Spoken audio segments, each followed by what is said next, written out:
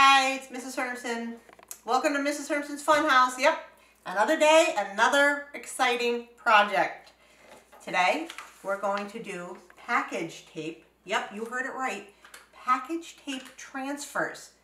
You remember all that we did to try to get those transfers to work using Mod Podge and acrylic and all that stuff?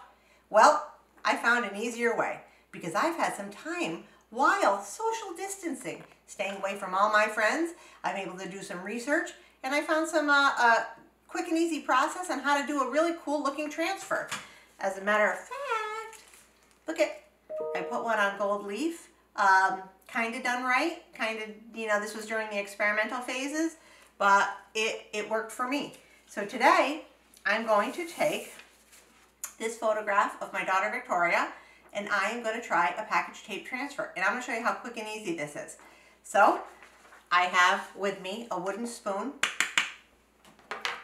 I have a scissor, a pair of scissors, and I have some packing tape. Okay? I printed this on recycled 20 pound laser inkjet paper. Or laser, yeah, laser ink paper. Package tape, ready? Take a piece, make sure I coat my entire picture, put it down nice and flat. Okay? That only covered one little section of my picture. So now I'm putting down another piece of packing tape. Nice and flat. Can't be any bubbles.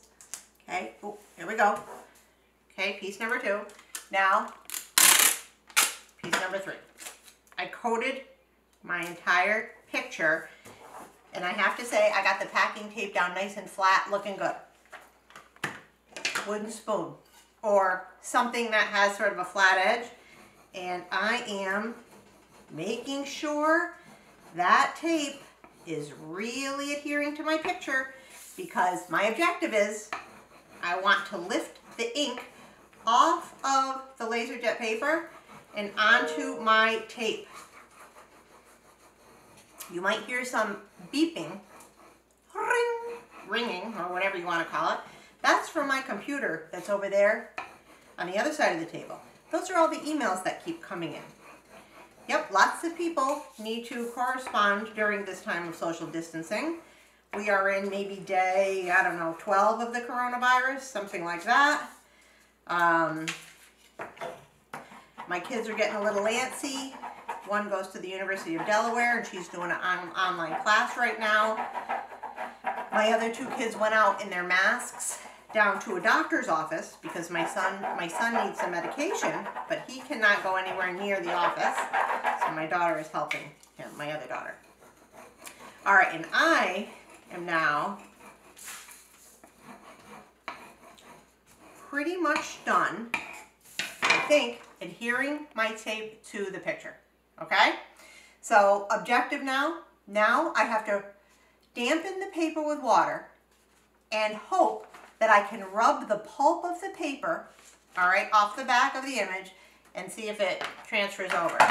By the way, before I go over to my sink, I am going to cut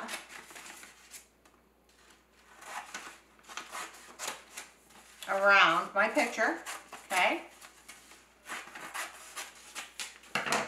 So I end up with that. I'm gonna go dampen the back, I'm gonna rub the pulp off the back, and let's see what we come up with, okay? Come on, let's go do it. Hey kids, welcome over to my kitchen counter. All right, in this bowl, I put a little bit of water. I'm gonna take my image and I'm going to uh, put the image into the bowl. Okay.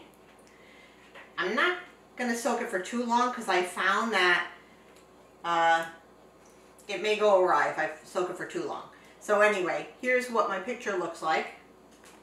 Okay, a little water on the back. Now what I'm hoping happens, if I put this down, I'm rubbing the pulp off of the back. Hopefully you can see this okay. Okay, I'm rubbing the pulp off of the back and I'm very, very hopeful if I go gentle enough that my image will transfer onto the tape. Oh no.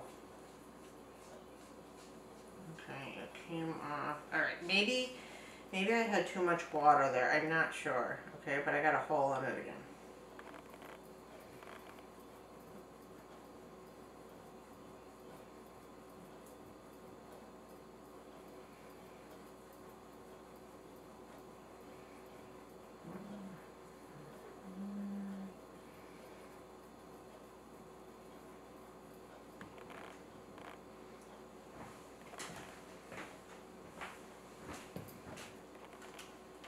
This was a fail.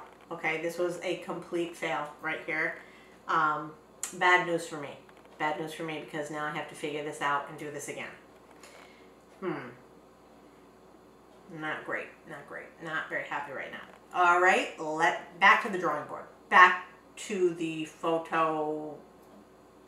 Back to the package tape. Yeah, back to some kind of board. All I know is I'm not bored. I'm very challenged right now and very excited to be having to think outside the box and do this again and again and again. Yep, I'm I'm really excited about all that. Yep, here we go again. Let's do it again. Yep, not bored. Extra challenge.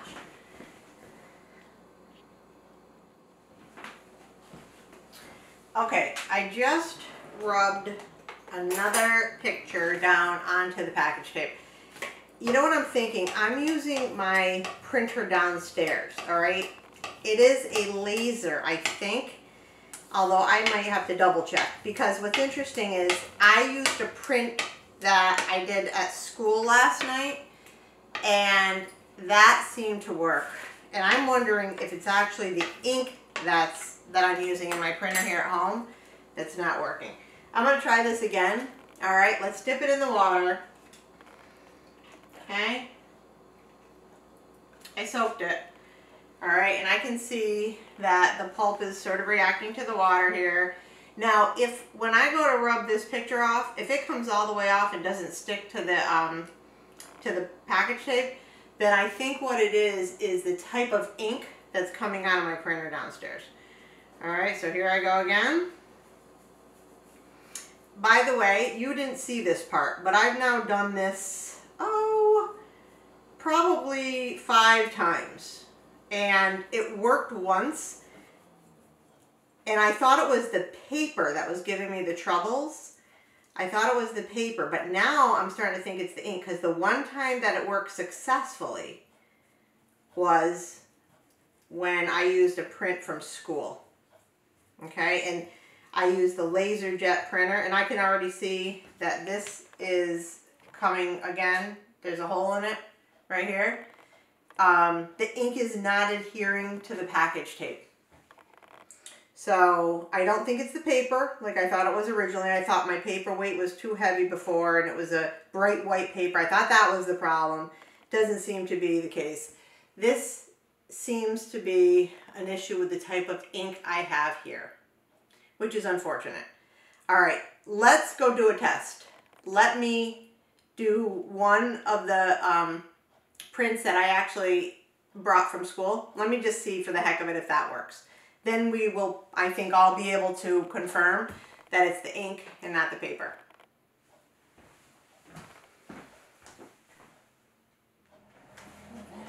Okay guys, all right, we're gonna try this one more time.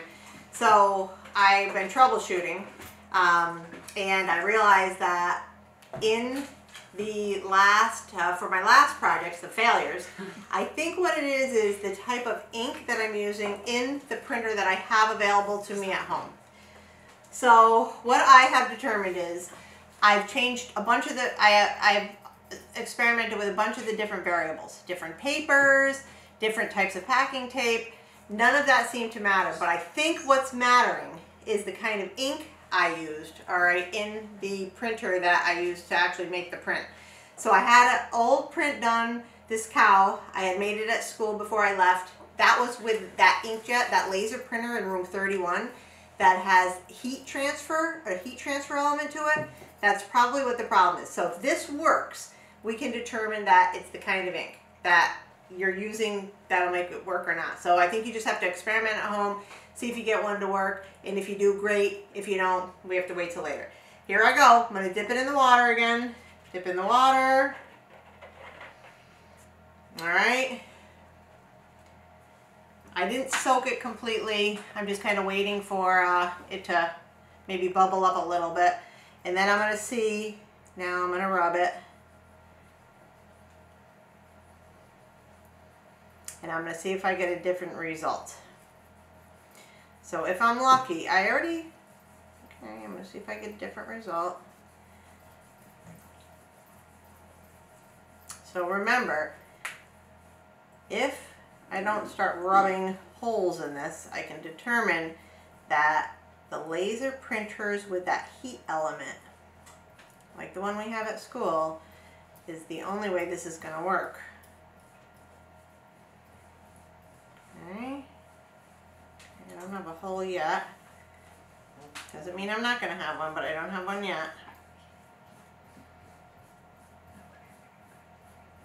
Josh and Mia are actually over there on the other side of the kitchen. I didn't do that I think last thing. I think they're hoping that this is gonna work for me. Okay, let me dip it in the water again. Gonna wet it a little bit more. Hey, boy. I'll just continue on with this one. We'll see if, uh, and as you see, that's the paper pulp getting rubbed off. In this particular print, the cow was darker, and I'm noticing he's kind of sticking around all right right now. Um, maybe I rubbed too hard in spots. Alright, oh, that was the oven. Making some meatball grinders. Okay. They don't want to watch this for that long. Mia? Okay, please. What? This is the problem, okay? if I'm at what? home doing my, my presentations, lots of criticism. Mom, stop. It's fine. Right. All right, all right. Look, actually, we did rub a little hole, but we're getting something. Something's something better is definitely happening here. All right, now this was. Okay, I'm gonna go to the edges here.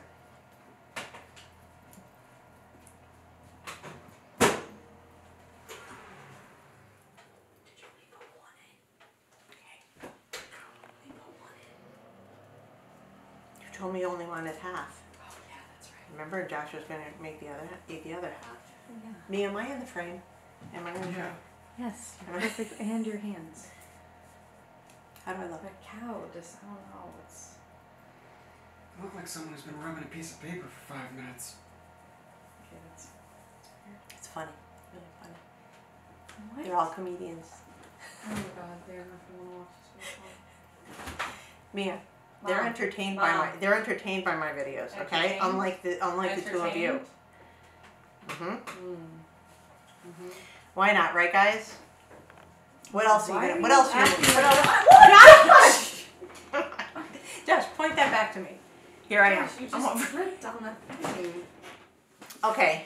Um, so anyway, I'm continuing rubbing the paper pulp off of the package tape, and I have to say, of my last um, relative to my last results, definitely you see this is working. I don't know if you can see the translucence from from there um, or the transparency, but I got a lot of the paper pulp off, and I have to say, this one is I think a success. Um, only thing I can determine, it the paper weight didn't matter. It didn't matter that I was using the fine white, premium white copy paper. It didn't matter which type of packing tape mattered. What seems to matter is the type of printer I was using. Those laser printers at school worked. I have a few examples that I can continue to, to work with, but you guys may have a printer that is appropriate and then again you may have the same troubles that I, I'm having at home. But I say give it a try.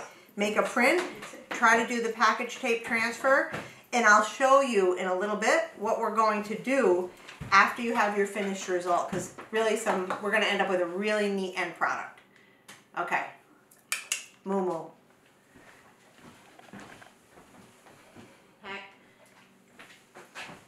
Guys, I'm almost done rubbing off the pulp, the paper pulp. This one is really pretty good. It's actually really great. So, if you guys have printers that you can use at home, give it a shot. Uh, the package tape transfer allows us to do what we did with the, if in fact you were in my the advanced class at the beginning of the year with the Mod Podge and the gold leaf, it gives a real similar result. And now you've got this transfer that you can um, incorporate into some of your other projects, this would be a great AP uh, piece and also something that might be really interesting for you to do lots of montages or collages with. Some really cool stuff to, uh, to, to help facilitate mixed media projects. Okay? Great option right here.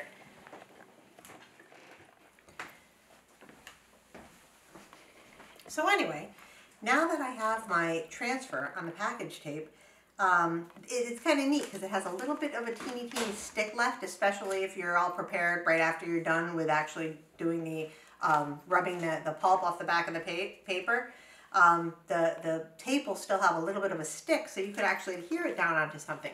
So anyway, I have some old papers laying around. Um, this one's actually from my parents' house. They live in, in Albany area, Schenectady, New York. And uh, this is the only other one that I have since we don't get the paper. It's uh, the Fairfield County Catholic Diocese paper. Not quite really sure why we get this. I am Catholic, but uh, this is really the only paper I get. So I was looking through it and I'm trying to see, okay, I have this cow here. What could I do to, um, you know, find uh, maybe a background that would relate to this cow picture? And I see a bunch of different things. Here's one. Every animal deserves the chance to leave paw prints on someone's heart. That's kind of sweet. A little Hallmark party, but kind of sweet. Um, so potentially what I could do is, I could, what if I take this, okay, and I cut this paper. Oh, this is interesting too. I just saw this as I was cutting that other one. All right, I see this picture of what looks like a cage, which is sort of interesting. Might pro prove to, oh, this is, I, I was originally gonna put words in the back, but this is kind of neat. It looks almost like, like a cage for this cow. Um, you know, animal cage. All right, here's what the words would kind of look like. I could kind of see them through. It looks like a montage, and that's sort of neat right here. And then I have some other options. I could cut out just different words. Like in this paper here, I saw the words uh, fat, food, fast, and food, and uh, things that would somehow relate to uh, maybe eating um, animals, uh, which some people are against, of course. Some people are for, so that could cause a little bit of a, um, you know, controversial image, or it could cause a, a talking point. Um, so that might be kind of interesting. So let me take a look to see what I have here. I am going to use uh, some sort of newspaper type image imagery as, in my background because that'll look really cool when I put this see-through now transfer on top of the, the newspaper. And let's see what I come up with, okay?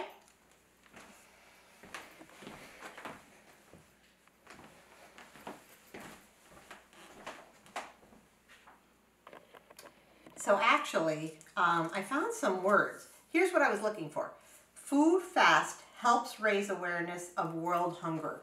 And like I said before, I kind of like this because of the controversy of eating animals, not eating animals, uh, becoming a vegetarian. Um, so in any event, I have my image of the cow. I found this in the paper and I really decided that I liked what was going on. I like the pattern of that. But what I'm going to do is I'm going to take these words and I'm going to cut them up. Okay, so I'm going to take the food fast. I'm going to take world hunger. And I'm going to go help raise and then awareness up. All right? I'm going to trim up these so that they look a little bit a little bit nicer. Okay, a little bit more even. And I'm going to play with the composition here. All right, uh, so I have my image.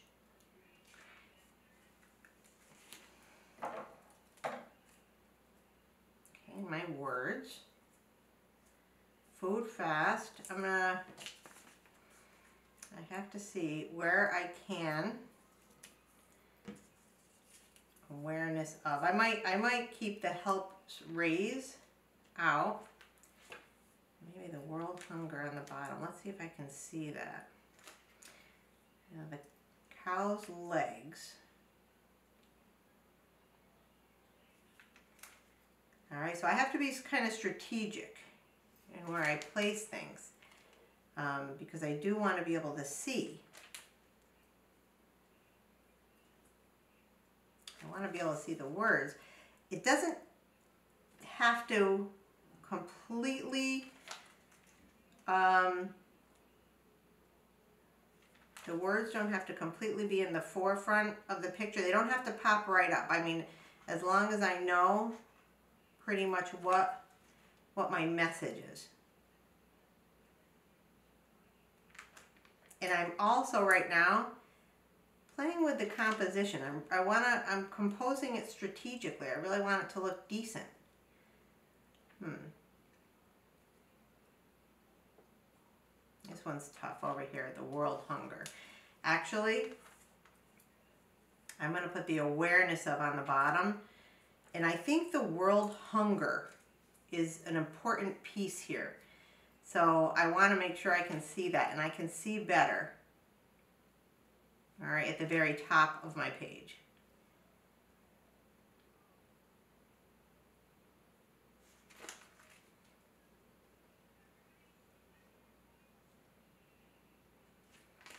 Lift that up just a little more. And I know it's taking me a little bit of time, but you know, like I said, I want to be strategic and I'm trying to compose this so it looks really interesting. All right, I'm going to stick this down now. And I may have to add some more stick because it's been a little while since I did my, um, all right, since I actually rubbed the background off. So here's what I got going on. All right. I'm going to take my newspaper and cut that down. Now that I have it kind of where I want it. You know, since I am at home, I can burn the edges without having to worry about catching the school on fire like we did when we were there. All right, so uh, um, I don't have to worry about that, nor do I have to worry about setting the smoke alarms off. Remember I told you the story about how I set the smoke alarm off using my fog machine a few years back? Yep.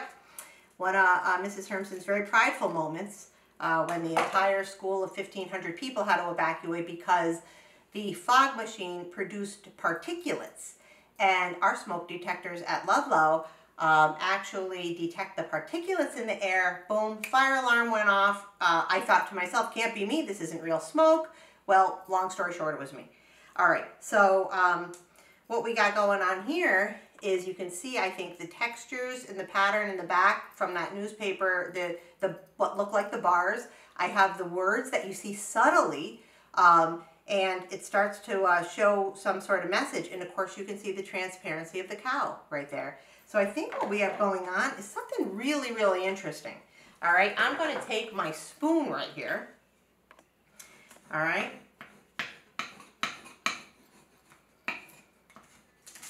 Oh, I'm going to take my spoon. Now, I may, like I said, have to add some more of a of a stick. I may have to figure out how to um, actually mount the transparency. I'm not sure if Mod Podge will work, but I may want to try that. And I'm going to take a solid piece of black construction paper ultimately. And I'm going to mount this piece down to that paper. You'll see the finished product as soon as I'm done. Um, I think we're on a really good path and we've produced something really, really cool. All right, so that's what we got going on so far. I have to say, that's really neat. Um, if I do say so myself. I don't have any idea why I went like that, but um, some people do it and look really cool. I don't think I'm one of them, but that is that is the case. Um, all right, so let's go mount this and I'll show you the finished product.